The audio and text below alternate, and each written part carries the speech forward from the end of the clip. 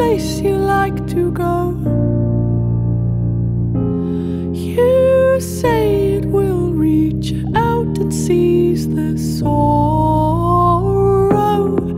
and we always mean to act on what we say. So come on.